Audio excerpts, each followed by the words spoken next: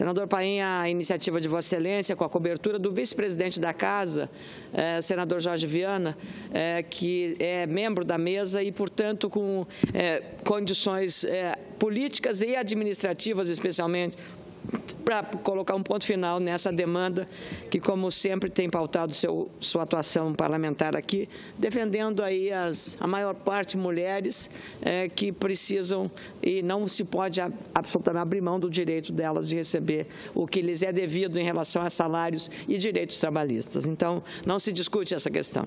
É, senhor presidente, é, senhores senadores, eu penso que o fato mais relevante do ponto de vista daquilo que tem se falado muito sobre segurança jurídica, sobre impunidade eh, e sobre todo o ordenamento jurídico e democrático institucional brasileiro, eh, está estampado nas manchetes de todos os jornais hoje, e um deles é o nosso jornal Correio Brasilense, a decisão tomada eh, apertadamente pelo Supremo Tribunal Federal, eh, decidindo a favor da prisão após o julgamento de um réu em segunda instância, não no julgamento definitivo. Ora, a segunda instância significa que ele já teve uma primeira instância de julgamento e condenação e na segunda a repetição de uma condenação. Portanto, a manifestação dos ministros do Supremo Tribunal Federal confirmou uma decisão anterior e seria absolutamente incompreensível e inaceitável que o próprio Supremo mudasse o entendimento sobre uma matéria tão relevante quanto essa no momento em que o Brasil vive uma operação Lava Jato e que depositamos todos os brasileiros sobre a República de Curitiba, no comando do juiz Sérgio Moro, as esperanças de um Brasil realmente mais sério, mais honesto, mais responsável e um menos violento sobre todos os aspectos, com menor grau de corrupção. É, queria saudar de modo especial os ministros Edson Fachin, Luiz Roberto Barroso, Teori Zavascki, Luiz Fux e Gilmar Mendes. E, claro, como houve empate no julgamento 5 a 5, coube o voto de Minerva a presidente da Corte, ministra Carmen Lúcia, que está se revelando no seu caráter de independência e autonomia e está muito sintonizada com as aspirações da sociedade. Então, eu penso que essa, essa decisão da Suprema Corte fortalece a convicção da sociedade brasileira na crença do poder das suas instituições soberanas, autônomas e democráticas. E a autonomia ao Supremo Tribunal Federal, ao Poder Judiciário, ao Ministério Público, à Polícia Federal, que tem agido republicanamente, é o que conforta hoje a sociedade brasileira de termos um país mais sério, mais ordenado juridicamente, melhor posto e com redução da impunidade, porque essa é impossível acabar com ela, e da redução muito fortemente da corrupção. Essa foi a boa notícia. Nós também ontem tivemos uma sessão do Congresso Nacional lamentável. Uma sessão que mostrou, é, de um lado, a grande organização da oposição, que sabe muito bem agir como oposição, e uma total desorganização da maioria. Isso significa dizer que foi difícil ontem, foi impossível, porque nos exames dos vetos em sessão do Congresso Nacional, os vetos têm preferência e eles é, simplesmente trancam a pauta das votações demais subsequentes. E depois dos vetos, nós tínhamos que votar, senador Paulo Paim, o PLN 8, que era uma matéria extraordinariamente relevante, para 2 milhões de universitários brasileiros que dependem do FIES, que é o financiamento estudantil, em instituições de ensino superior do sistema do ensino superior, sejam as é, instituições comunitárias do meu estado, que são muito fortes, muito importantes, criadas nas comunidades.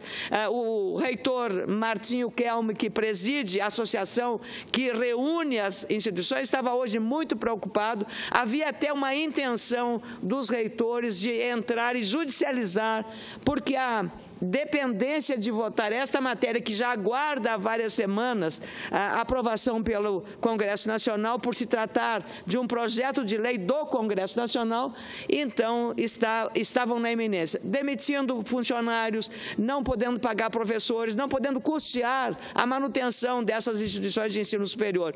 Ora, que país é o nosso que não é capaz de, em hora pronta, aprovar uma matéria dessa relevância? É, até foi uma matéria tão é, relevante que a própria oposição é, entendeu que haveria consenso para votar. Só que o consenso veio tardiamente, porque enquanto as, uh, os vetos não fossem apreciados pela Câmara, porque estavam todos eles mantidos, não haveria condição de votar. Ficamos no impasse, porque faltaram 20 deputados federais na última apreciação de veto e nós, às três horas da madrugada, saímos, eu saí, saímos com os senadores que estavam lá e os deputados, saímos sem essa deliberação, que era talvez uma das mais relevantes, o PLN 8, que trata do recurso. Qual foi a eu diria, criativa sugestão do presidente do Senado, Renan Calheiros, que presidia aquela hora a sessão. Diante do impasse surgido e do enfrentamento havido entre oposição e governo, e a base do governo inteiramente desorganizada, eu, eu penso que a crítica que eu faço aqui não é uma crítica destrutiva, é uma crítica para mostrar, abrir os olhos do governo, que do jeito que está não vão muito, muito longe.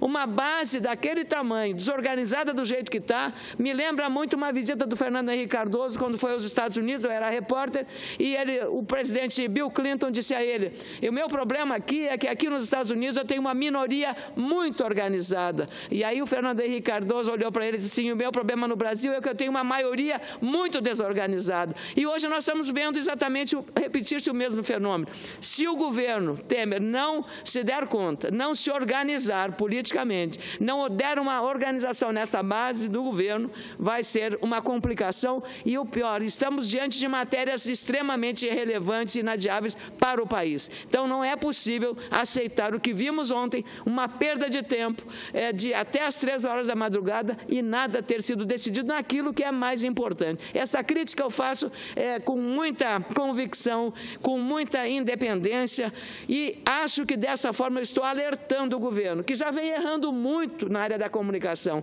Erra todo dia, toda semana tem um erro grave do governo.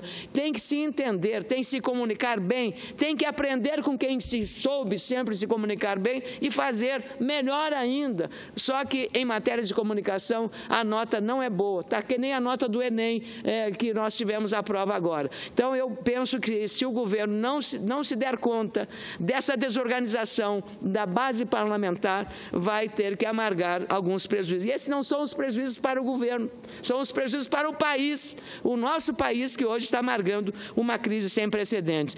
É, eu queria também, senador Paim, aproveitando esses dois minutos que me restam, é, lembrar que apesar de termos, é, e falei da questão do PL, é, PLN, PLN 8, é, porque o FIES são 2 milhões, 2 milhões de estudantes universitários que dependem do FIES. Só no Rio Grande do Sul são 50 mil estudantes e Vossa Excelência conhece bem a realidade das universidades da UX, lá da sua Caxias do Sul, da UPF de Passo Fundo, da Unijuí, da, da Unisc de, de Santa Cruz do Sul, é, de, da URI é, e tantas outras que agora me, me ocorre que são relevantes no trabalho que realizam. Então, foi a solução encontrada pelo presidente presidente Renan Calheiros foi sugerir ao governo uma medida provisória que está sendo preparada pelo Gabinete Civil para esse crédito suplementar do MEC e aí é, resolver de vez a questão. Veja só onde chegamos. E é preciso que também tenhamos uma mudança no regimento interno do Congresso Nacional, porque do jeito que está funcionando não é possível avançar em trabalho e produtividade do Supremo,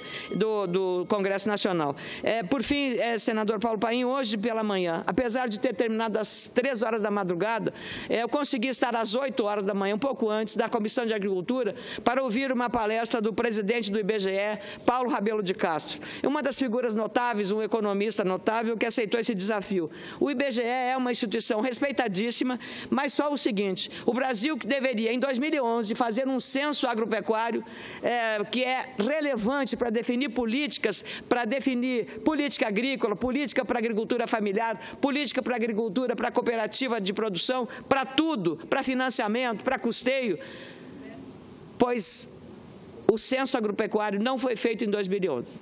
Houve uma pedalada no censo agropecuário em 2011. E agora nós precisamos fazer esse censo agropecuário em 2017 de qualquer jeito.